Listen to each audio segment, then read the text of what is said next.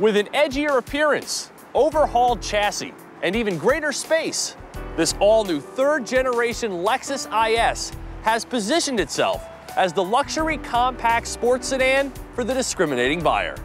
I suppose it would be remiss not to mention the BMW 3 Series, the sports sedan widely regarded as the prototype. But you know what? Not everyone longs for the Roundel, and so others, like Lexus, continue to persevere with their own take on what the sports sedan should be. With this new model, Lexus keeps the choices familiar with the IS 250 and IS 350, each with the option of rear or all wheel drive. The new twist this year being that the F Sport package is now available across the entire model range. But this week, I've settled into an IS 350 all wheel drive, tricked out with the usual assortment of luxury options, taking the price from $42,595 to $47,480 as tested. There is one conspicuous omission navigation, and that's here on a car with the Luxury Plus technology package. What you see here instead is what Lexus calls the Premium Display Audio System, with some cool new tricks like displaying the album art for sat radio signals and subscription free real time traffic and weather information. Beyond the inclusion of the Lexus family faced spindle grille and a superb penning of the reimagined body, this IS is also wider by nearly half an inch and longer by almost 3 inches. Its new proportions and sweeping lines make it a understated stunner. But most of all, I love the way the IS is beautifully balanced in all regards. From behind the wheel, this car is always confident and composed. It performs all of its sports sedan duties with a sense of adroitness and unflappable ease. It's a car that just refuses to come unglued, showcasing its more rigid body and redesigned multi link rear suspension that separates the shocks from the springs, also allowing for a roomier trunk.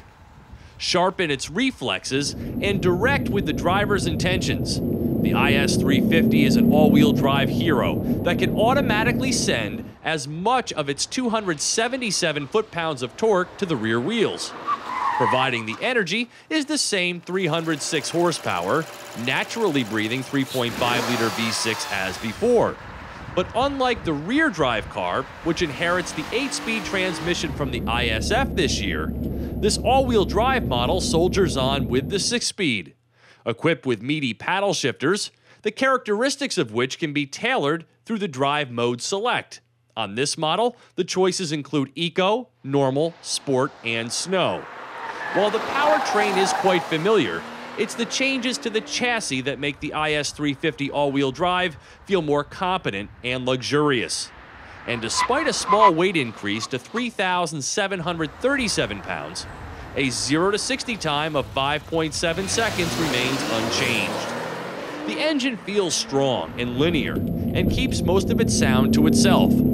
Gas mileage is rated at 19 mpg city, 26 highway on premium. A modern industrial treatment has been applied to the interior with an eye pleasing combination of metal, wood, and leather.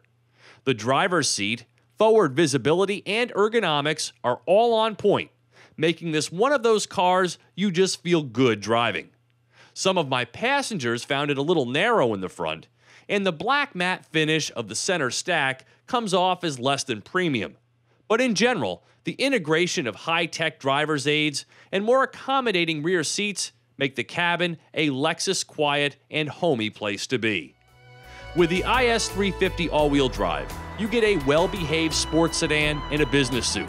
It serenely does the job, but lacks the visceral experience of, say, a comparable Cadillac ATS. But perhaps that's what the F Sport is for.